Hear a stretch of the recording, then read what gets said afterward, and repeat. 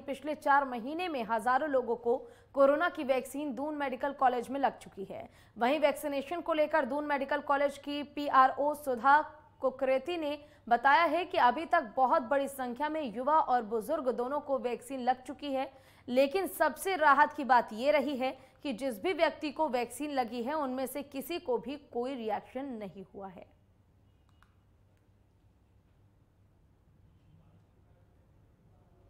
नहीं, देखिए इसका ये बड़ा पॉजिटिव एक पहलू है कि 18 प्लस का जब से शुरू किया है, भारी संख्या में युवा आ रहे हैं और अभी तक हमारे पास एक भी ऐसा कोई केस रजिस्टर नहीं हुआ है कि जिसमें कोई इस तरह की कंप्लेंट आई हो कि वैक्सीन के बाद उन्हें किसी भी तरह की कोई परेशानी हुई या कोई साइड